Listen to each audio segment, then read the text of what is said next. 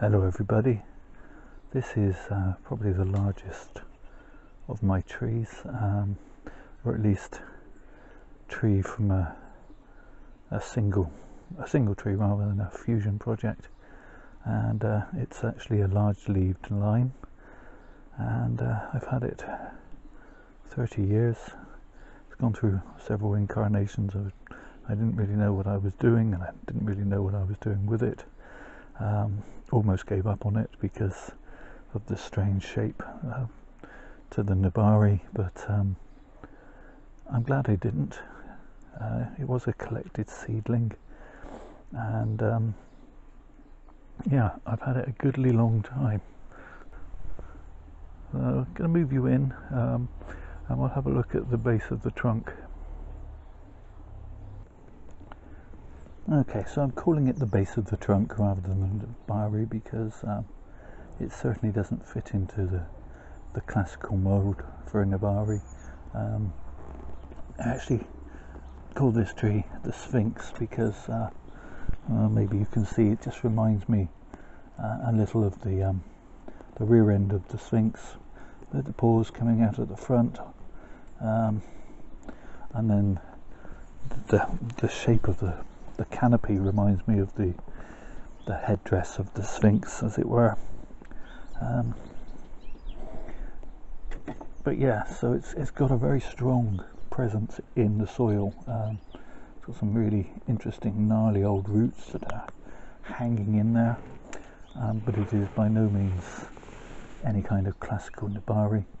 Um, from this point, uh, less a sphinx, more of an octopus, but uh, there we go.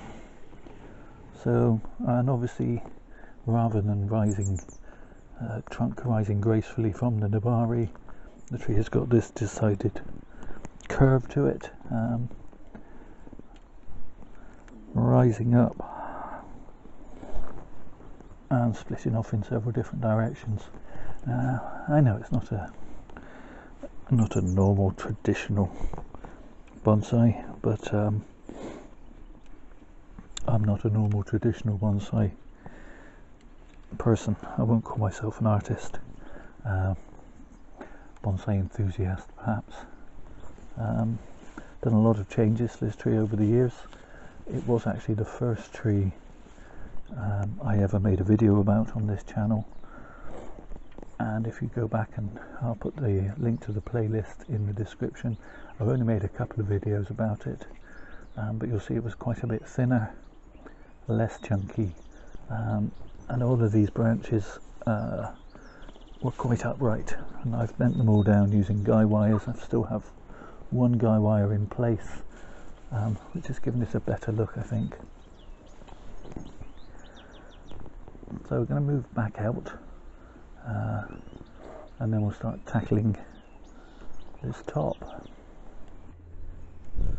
Okay so I just thought I would give you uh, a glimpse that you don't often get, um, and that is looking up under the tree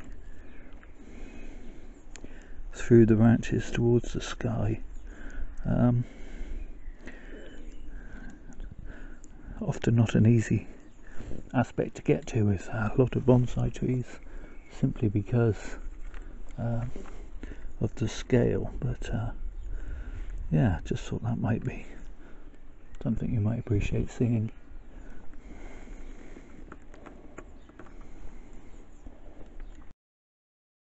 How are we doing? Hmm? Need a bit of fussing. I'm doing this. We'll go out for a walk after. Yeah, go on. Yeah, so that's that's the canopy from the bottom down. Well, no, from the bottom up, I should say. My um, plan for this tree is that uh, in order to give a touch more balance, obviously this side of the canopy is going to be the wider side and I'm going to bring this side in more closely. Um, so let's begin with just working our way around this side and I'm just going to be shortening back to two or three pairs of leaves and um,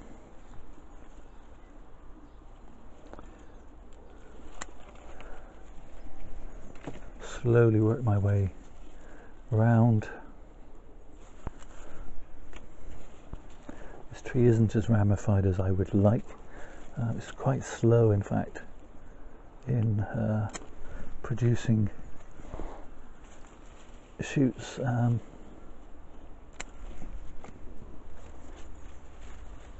but I'm quite pleased that the leaves have come down quite a lot in size over the years. Um, it still throws out some quite large leaves like this one um, but they are coming down slowly and I am getting more more leaves that are you know size of a large coin.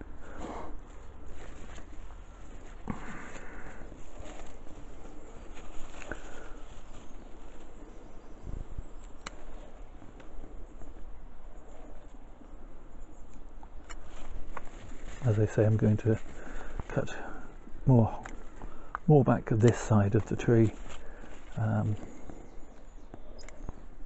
just to try and bring it back in a little um, and allow this side to stretch its wings a little bit more.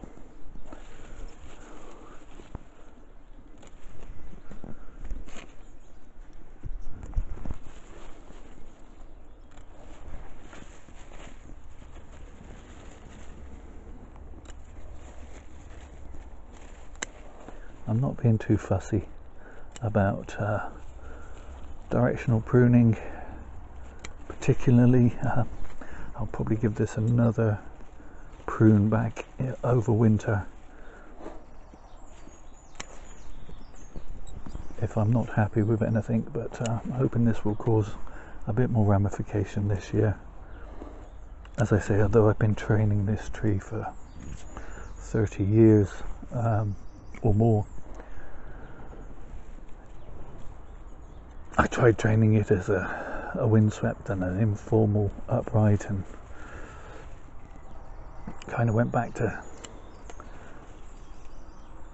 the beginning on both of those because it wasn't it just wasn't working and I didn't have the time or the energy at the you know in those early years I had a lot of enthusiasm very little knowledge there were no books no internet um, and I had a busy job and a young family. And uh, I probably said before, killed a number of trees because uh, well, I just wasn't skilled in caring for them and didn't have the time always to water them, working shifts, etc. And it's only, you know, I managed to keep this and a few others alive. Um, and I'm glad I did. But in many of the trees, uh, that was all I could say for them. And then I became semi-retired five, six years ago, and uh, I've had the luxury of time and grown-up children, um, so that I could actually get out and, well, my collection has then since gone bananas. Um, I haven't been able to stop myself seed sowing and uh,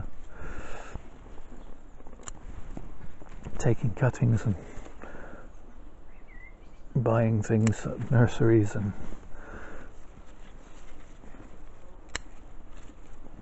oh but to have had that time when I had some of the energy uh, but still at least I never lost the enthusiasm and that I am grateful for.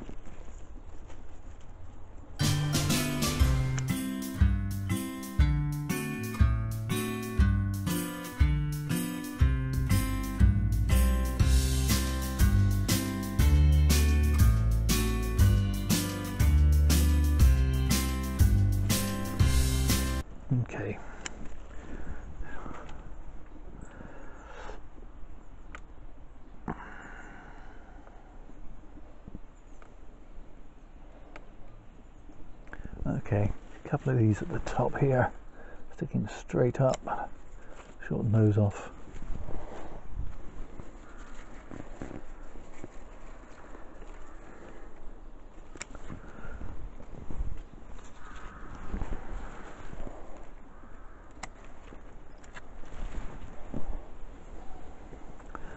Uh, still not sure if I don't want to come back a little more on this side. Um, so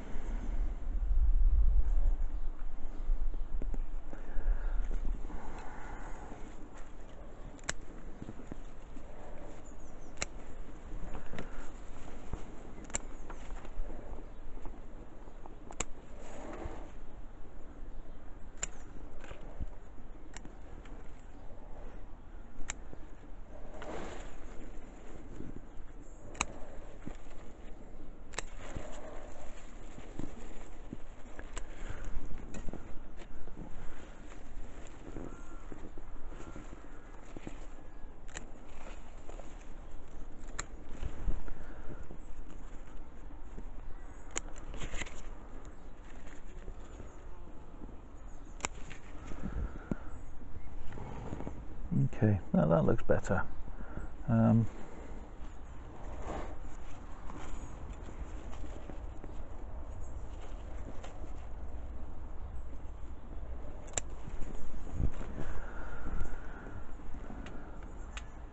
okay, so I'm going to lose a couple of leaves in here.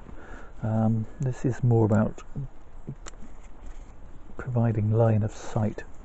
Um, it will also help promote a little bit more ramification in that uh, the tree often will send out a, a new set of leaves from where I've reduced the leaf. I might even next month um, give this a complete defoliation. I haven't made up my mind on that yet.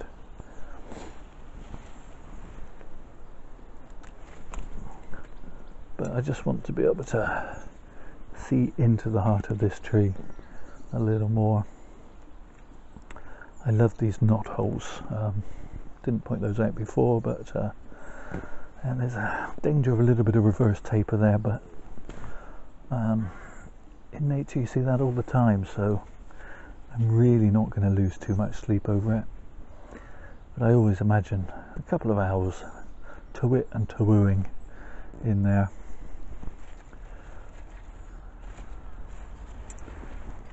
Okay, so keep going up top. Don't want to take too much off the top. Um, you know, the crown hopes to build up uh, even higher, maybe two or three inches higher. So just don't want these long straight shoots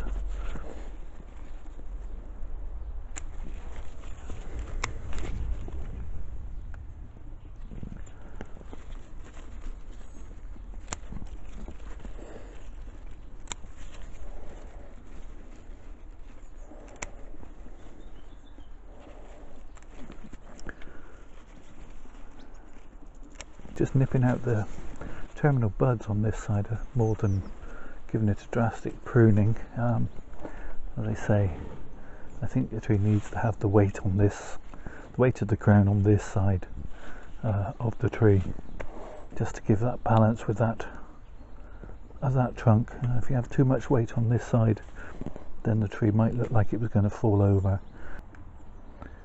A big old chunk down the bottom that's uh, it looks like it will never let this tree fall over.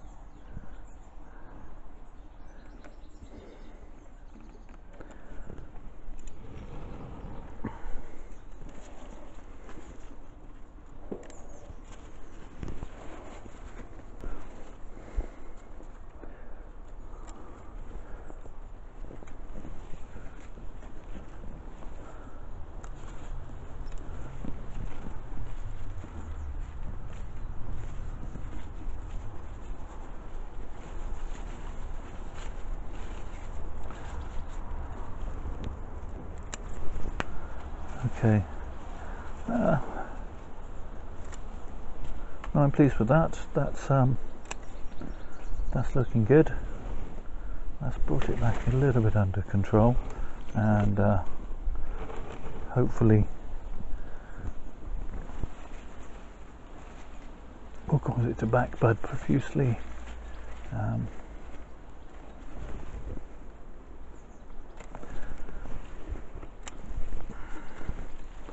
couple of pieces sticking up. Um,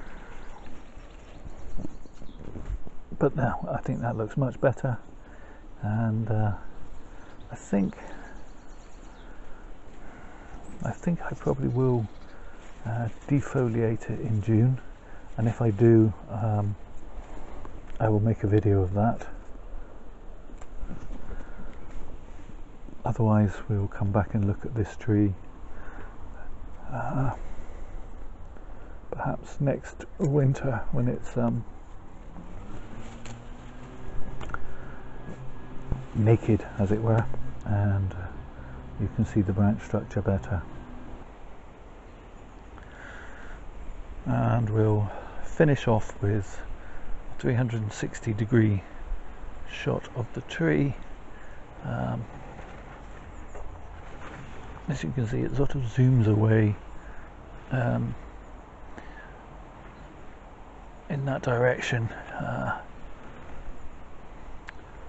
but I had a long time. I think it'll forever be one of my favourite trees and uh,